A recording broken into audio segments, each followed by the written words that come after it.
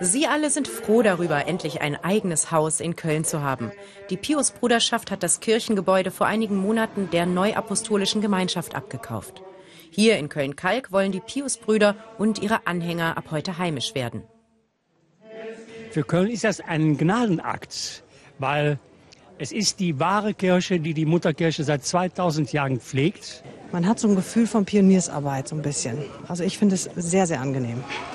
Mit der neuen Kirche sind diese Kölner wiederum gar nicht einverstanden. Lautstark versuchen die Demonstranten auf der Straße ganz in der Nähe die Einweihung zu stören. Also wir hier Anwohner, linke Gruppen, schwul-lesbische Gruppen finden es äh, nicht in Ordnung, dass äh, unter dem Deckmantel der Religionsfreiheit hier antisemitische und homophobe äh, Hetze in diesen Stadtteil getragen wird. Während der Messe ist vom Treiben auf der Straße allerdings kaum etwas zu hören. Monatelang haben die Gläubigen ihre neuen Räume umgestaltet. Nun genießen sie das traditionelle Hochamt nach lateinischem Ritus. Von den Kritikern fühlen sich viele Gläubige oft missverstanden. Doch Kritik sei berechtigt, meint der Kölner Journalist Günther Bernd Ginzel. Er beschäftigt sich schon lange mit der Glaubensgemeinschaft der Piusbrüder.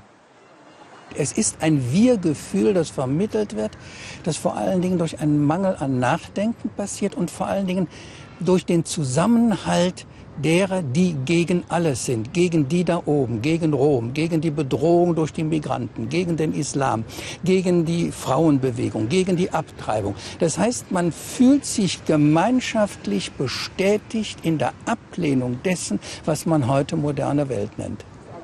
Der deutsche Distriktobere der Pius-Bruderschaft kennt die Hauptkritikpunkte an seiner Gemeinschaft und erklärt seinen Standpunkt.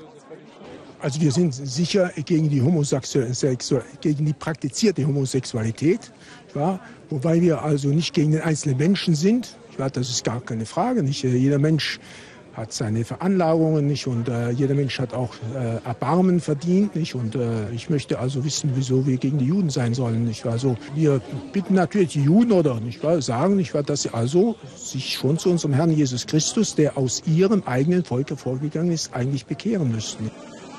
Einen Dialog zwischen Demonstranten und Gläubigen gab es heute nicht. Doch sie wollen sich weiter gegen die Pius-Bruderschaft auflehnen, haben die Kritiker angekündigt.